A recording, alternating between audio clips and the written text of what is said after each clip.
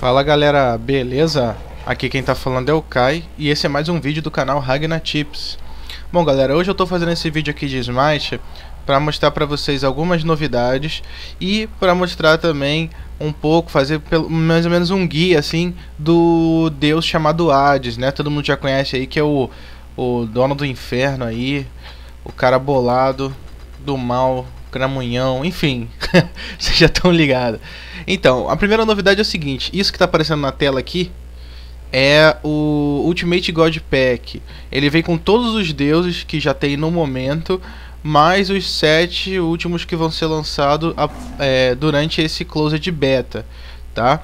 ele está custando 30 dólares. Então quem quiser tiver interessado em comprar todos os deuses pode estar tá pagando 30 doletas, que aqui pra gente, eu na minha opinião, sai um pouco caro, ainda mais para um jogo beta, e comprar todos os deuses de uma vez sem precisar ficar batalhando para ganhar eles ou então comprando um de cada vez. A segunda novidade é que veio esse deus aqui, acho que é One Her que é o, esse leão aqui muito bom. Ele é ranged, ele taca essa lança e a lança volta para a mão dele. Ele fica atacando, é ranged, é bem legal. Enfim, essas duas foram as novidades que estão agora no Smite. As novidades estão vindo bem rápido, eles não estão demorando para trabalhar no jogo e para trazer coisa nova. Mas enfim, eu vou para um breve tutorial, um breve tutorial do do Hades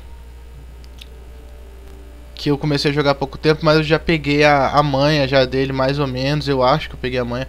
Eu tô conseguindo fazer pontos muito bons aqui no jogo, bastante kills, poucas mortes e assistência também. O que, que acontece? Para começar é o seguinte, o Hades, ele ele é tanque e mágico, tá? Ele é bem tanque e é mágico, medianamente mágico, tá?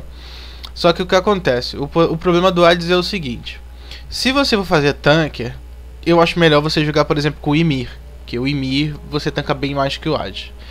Agora, se você for fazer mágico, aí o Hades, é lógico, já tem uma vantagem bem maior. Por quê? Eu vou explicar pra vocês. É, porque você tancar e soltar a magia é uma coisa muito. Como é que eu vou dizer? É uma coisa muito estratégica certo? Você jogar você tem que ter muita estratégia. Você não pode ir com muita sede ao pote no início. Quando chega lá para os 20 minutos de partida, você já está muito bom com o seu personagem, já está totalmente equipado. Lógico, se você não morreu muito, se você cripou direito, ele já vai estar tá com uma defesa alta pra caramba, vai estar tá com um ataque mágico razoável. Você vai poder entrar no meio de três inimigos e ultar no meio deles, que o ult dele é em área gigante. Você vai poder ultar no meio deles e você vai conseguir com certeza aí ter sucesso matando todos, ou então pelo menos garantindo a redução muito grande de HP deles, tá? O grande problema do Hades, como eu estava falando, é o seguinte: ele é mágico, só que ele começa com zero de mágica, certo? Zero de dano mágico. Ou seja, se você comprar, não e outra coisa, não utilize os equipamentos recomendados do jogo. Nunca utilize no Hades o equipamento recomendado, porque ele só vai te dar equipamento de tanker. Você não vai dar dano mágico. A primeira vez que eu joguei com ele, eu falei: "Nossa, mas esse God é uma porcaria. Depois eu vi os itens que estavam sendo comprados para ele automaticamente, não tem nenhum item que dá dano mágico. Você começa a comprar bota de ferro, armadura de ferro, mas você não compra nada de início de, de coisa mágica, né? Isso automaticamente. E está totalmente errado. O que você tem que comprar primeiro são equipamentos mágicos, tá? Que eu vou estar tá mostrando aí agora. Sempre comece comprando uma bota. Eu recomendo pro AIDS o Boots of the Mage, que garante para você mais 21% de velocidade de movimento, além de 50 de ataque mágico e 250 de mana. O segundo item que eu recomendo vocês comprarem é o Alok Sash, que fica em Magical e Power. Você ganha 50 de Medical Power, mais 300 de HP, mais 400 de mana, e a passiva dele faz você aumentar 2 de HP, 2 de mana e 5 de ataque mágico por stack. E quando você mata um inimigo, um player, você ganha 5 stacks de uma vez, e um minion você ganha 1 stack, podendo somar até 80 stacks ao mesmo tempo. O terceiro item que eu recomendo vocês comprarem pode ser o Obsidian of Shard, que ele te garante 70 de ataque mágico e 45% de Magic Penetration. Ou você pode comprar também o Polynomicon, que garante 75 de Magical Power, 10% de Life Steal, mágica, né? Você rouba a vida do inimigo quando você ataca ele e mais 300 de mana. A passiva dele ainda dá a cada 2 segundos a possibilidade de você atacar com um ataque normal do, do, do seu God, né? Do caso do Hades, e você é, dá 100% de dano mágico, ou seja, causar um dano bem maior com um ataque normal do seu God. Tá? É, comprando esse Polimicon, você pode somar o item com o Pythagorean Piece, que ele te dá mais 70 de Magical Power, 300 de mana e 15% de Magical Life Steal, certo? Fica muito bom você somando esse item com Polinomicon e o seu ult, que você vai dar em área, atingir vários inimigos ao mesmo tempo vai sugar o HP de todos eles, certo? E ele ainda adiciona a aura, que dá mais 35 de Magical Power a todos os aliados que estão em volta de você em 30 metros. Agora a parte tanque do Aegis, que já vem para o final, a parte de defesa física e mágica. Recomendo vocês comprarem o Raid of Leviathan, que ele te garante 45 de Physical Protection, Magical Protection, 250 de HP e mana, tá? A mesma coisa também eu, eu recomendo a vocês o Mage's Blessing, que no final ele, ele concede a você 50 de Magical Protection, mas não concede Physical Protection, 350 de HP, 350 de mana e absorve um único ataque do inimigo a cada minuto. Fica uma bolha de proteção em volta de você, a cada minuto essa bolha é gerada e ela absorve um ataque. Quando ela some, daqui a um minuto você ganha uma outra bolha que te protege contra o ataque inimigo. E por último, indo aqui na parte de defesa e health, eu recomendo o anel Silver Fox Girdle que ele te dá 750 de HP e mais 20 de recuperação de HP por segundo. Beleza, galera? Então, galera, com esses equipamentos que eu mostrei para vocês, com certeza você vai ter sucesso na, na build do seu AD, se você for jogar com ele. Claro, você é tanker também, mas eu não recomendo você colocar tudo equipamento mágico, porque o ult do Hades, ele fica muito tempo parado, e é um ult para você acertar várias pessoas ao mesmo tempo. Então, se você ficar muito tempo parado sem defesa, você vai tomar com certeza você vai tomar. Então, priorize. Coloque, são, se não me engano, você pode ir para 6 itens. Coloque 4 itens mágicos e 2 itens de defesa, certo? Que você vai ser bem sucedido. Agora, vou falar um pouco sobre as skills do Hades, tá? Vamos lá. É aqui mesmo. Ah, abilities. Ó. A habilidade passiva dele é o que? Quando você dá um ataque normal com seu cajado, você deixa o cara em Blight. O Blight, ele fica como se fosse com uma névoa roxa, assim, uma névoa de trevas em volta do cara. Por 5 segundos certo? Podendo é, atualizá-la, né? Podendo recomeçar a contagem de 5 segundos a cada vez que você acertar ele novamente. E esse Blight, ele vai dar alguns ataques especiais às suas próprias skills, incluindo o seu ultimate, certo? Então, uh, sempre que você for atacar um cara, dá uma porrada normal com cajado, uma porrada não, manda a treva com cajado e quando bater nele você encaixa a segunda skill, tá?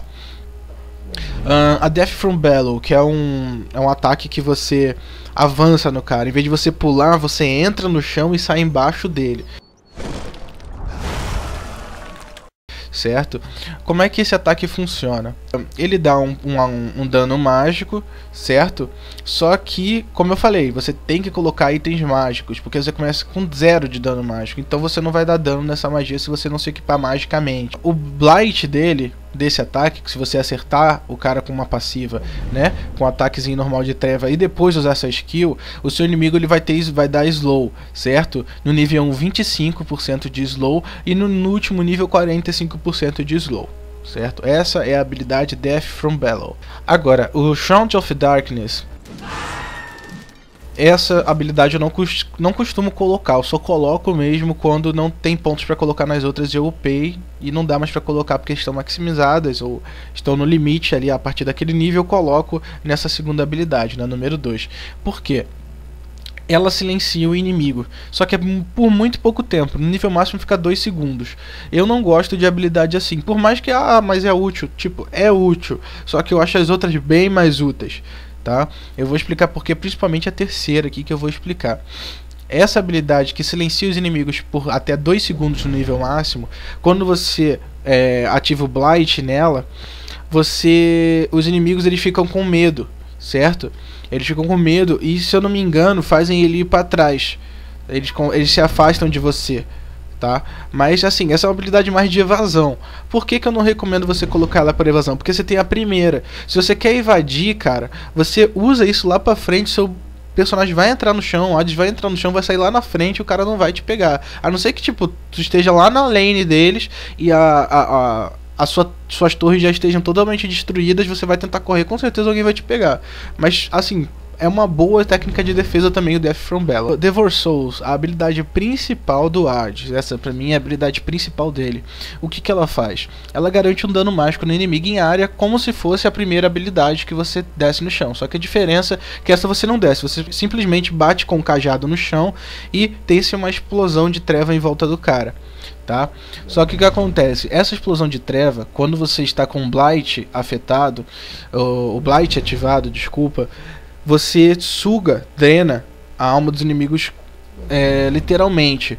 Você consegue recuperar o seu HP, certo? Você suga, dá um drain na vida dele. Então, assim, se essa habilidade é muito boa, por exemplo, você acabou de sair da teamfight e tá quase morto. Aí você vê, tipo, uns três minions arqueiros batendo no seu, nos seus minions. Você manda. É, um, um, ataque normal em cada um desses três arqueiros e usa skill nível 3. Você vai absorver três vezes aquela vida e com certeza vai encher mais ou menos 25 a 30% do seu HP. E isso serve também para Steam Fight, cara. Sempre usa essa habilidade, certo? Porque ela é muito boa. Com foca nela, porque ela vai salvar muito a sua vida dos seus aliados e ainda, dá um, e ainda é a habilidade que dá maior dano do AD, ok? Pillar of Agony, que é o ult dele que é muito bom, cara. Esse ult é muito bom. Uh, o que acontece nesse ult? O Hades ele chama todas as almas que ele capturou dos inimigos, assim, ficticiamente, porque você não acumula as almas dos inimigos, não é isso, mas é como se ele chamasse todas as almas que ele já absorveu e fizesse um dano no inimigo, tá? Isso em área, numa área muito grande.